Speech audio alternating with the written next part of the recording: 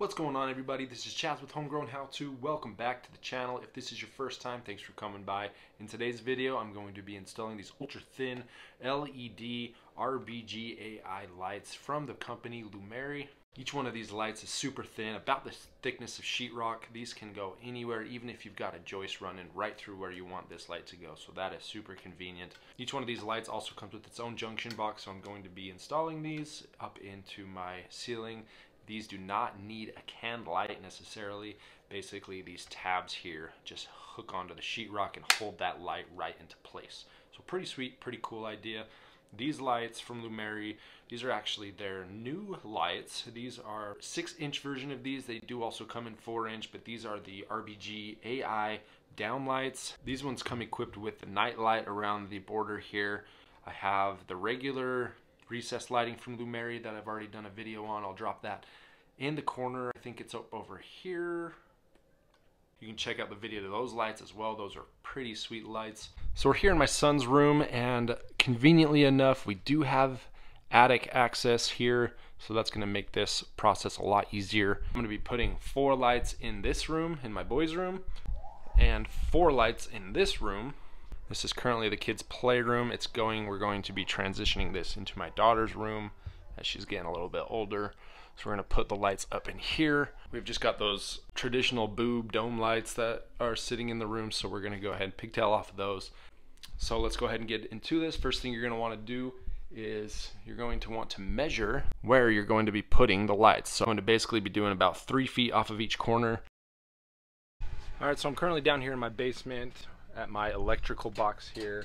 These are my circuit breakers. This is the breaker for two of the bedrooms upstairs. So I'm gonna go ahead and flip that off and then I'll go ahead and check that with my voltage tester when we get upstairs.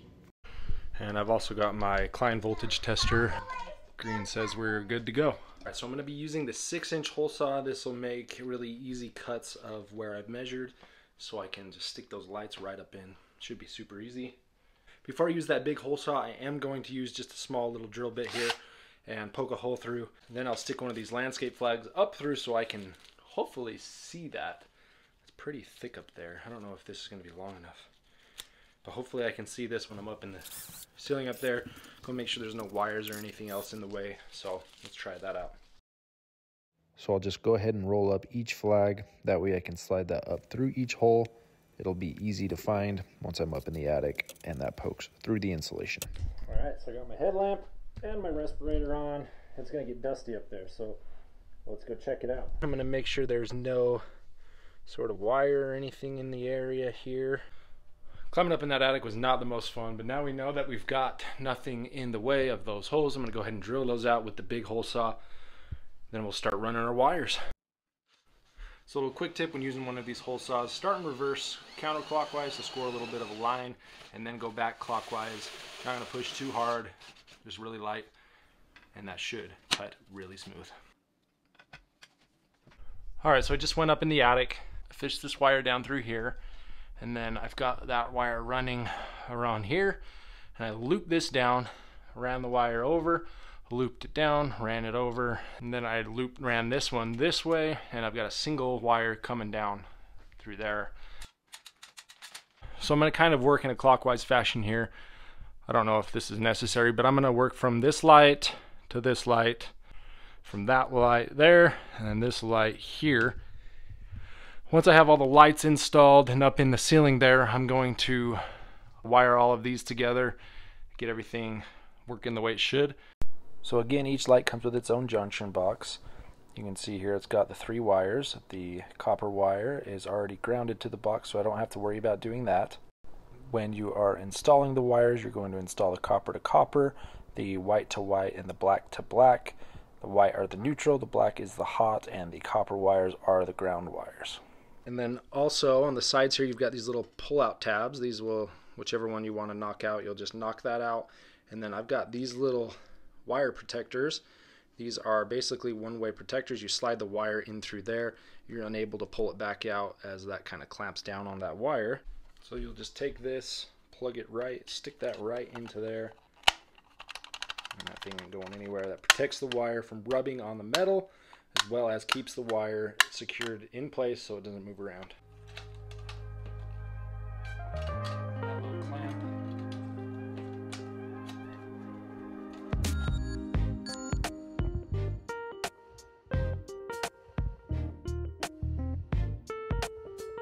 Going to cut this loop here.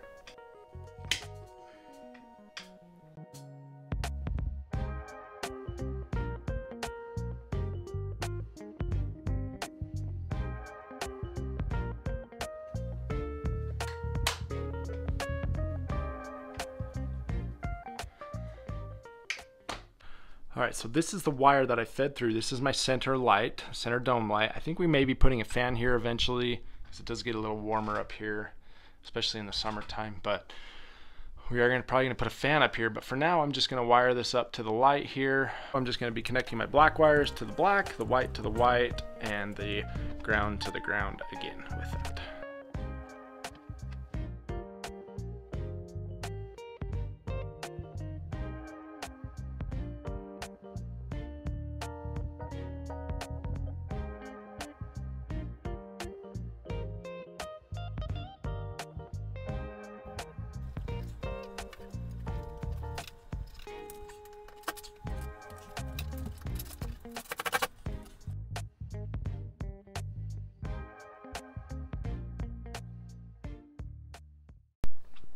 As you can see, all four lights are functioning. With this dome light in the middle here, I'm just going to end up taking the bulbs out so that that doesn't work, so that we can use the smart functions that are associated with these four lights.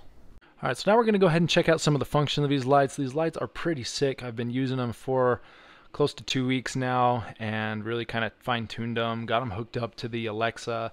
They can also sync to the Google Home. So as you can see, I've currently got the nightlight mode on. It's set to golden. On my camera, it kind of looks white, but it is golden, like a golden yellow. If I come into the app here, um, these are the lights in my son's room here. Currently, the auxiliary light is on.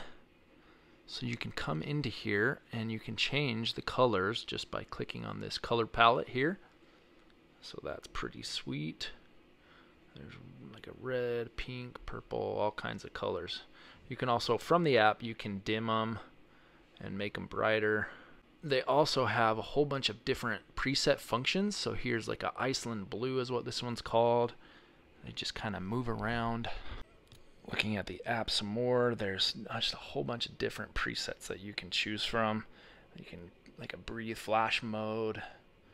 This one's called Grassland. That's pretty sweet. Autumn.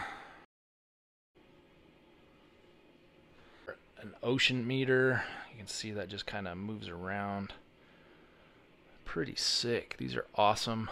So I've also got these hooked up to Amazon, so check this function out. Alexa, turn Harrison's night lights to blue. Alexa, change Harrison's night lights to red. Alexa, turn on Harrison's lights. So that will just turn the lights on normally. You can also dim these from the Alexa or the Google Home as well. Alexa, dim Harrison's lights to 15%.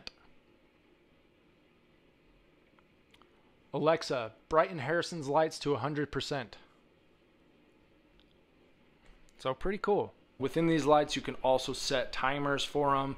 So in my daughter's room, she likes to sleep with the lights on. She loves the color pink, so we usually leave it at pink. Bedtime's usually about 7:30, 8 o'clock.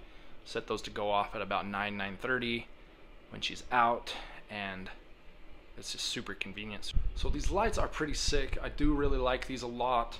I like the smart features on them if the kids leave the lights on and i'm downstairs i can just turn them off by telling alexa to do so.